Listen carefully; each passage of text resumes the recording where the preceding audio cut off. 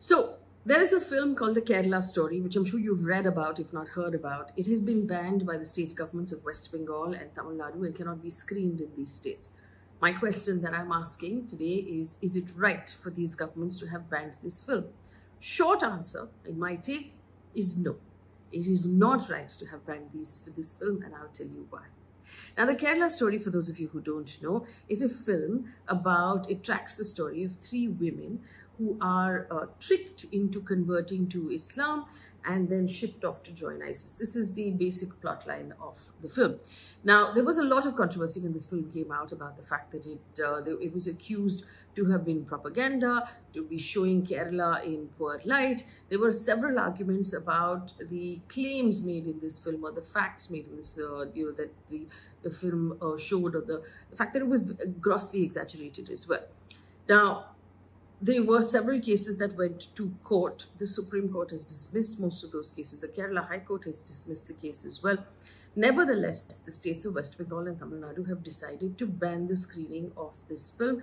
Uh, and they've cited law and order issues, that it's uh, spreading enmity and uh, it will cause law and order issues. Now, the Supreme Court has said clearly that if a state government foresees a law and order issue, it is up to that state government and its police to provide protection to the people watching the film, the artists who have worked on the film, and the uh, multiplexes as well. You cannot ban content or a film saying that there could be a law and order issue when it is your responsibility to manage law and order. That's the argument. Now, the Supreme Court has argued again, and it said this in the past, that if you don't like something, don't watch it. Banning it is not an option.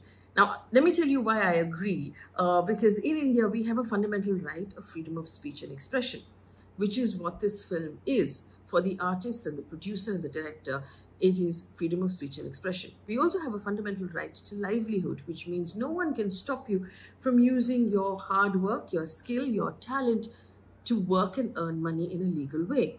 Now, the people who have worked on this film have used their skill and their talent and their hard work, and they shouldn't be stopped from earning money from that work, which is what is happening in this case. So there are two fundamental rights here uh, that uh, one can argue are being violated, which is why this film should not be banned.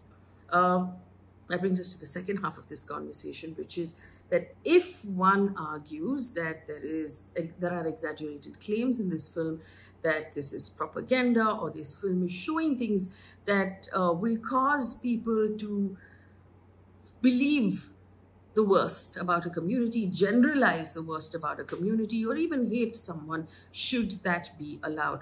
Now, I accept that films have an ability to get people to sort of be typecast right? If you remember, those of us who watched Rocky growing up, we all believed that Russians are grumpy, monosyllabical, humorless people who will just beat you up because that was the propaganda of those films. That's how Russians were portrayed to us by American films when we were growing up. And that's somehow in the back of our heads, that's what we believe about an entire country. So films have that ability. Having said that, uh, while there are many arguments about the details of this film, it has been argued before court that it is fictionalized based on true events. In fact, the lawyer uh, Ravi Kadam, who was appearing for the producer of the film, said it's inspired by true events, and I quote, a film, things are dramatized. So it's not a documentary. And there's no onus to be absolutely factual about, uh, you know, the details that are shown. But there are other issues here. For example, we have a government right now that is pushing this film. The Prime Minister at a rally in Karnataka actually said, and I quote, this shows the ugly truth of terrorism, using the word truth, while the film themselves has said that they have dramatized uh, portions of it. Mr. J.P. Nadda has said this exposes a new type of terrorism. Madhya Pradesh, Haryana, Uttar Pradesh, Uttarakhand governments have made it tax-free. So what we have here are governments that are pushing a film because it suits their narrative. But on the other hand, when the BBC put out a documentary, the same government banned that documentary. Was it right to have banned that documentary? The answer is no, because the same rules apply to that documentary as well. The same rules apply to the film Pathaan and the color of Deepika Padukone's bikini in that film as well.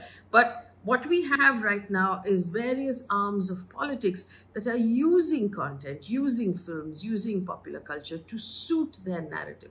And that is a dangerous thing. Which brings us to the last part of my argument. What do we do? What happens when there is this kind of pressure on artists?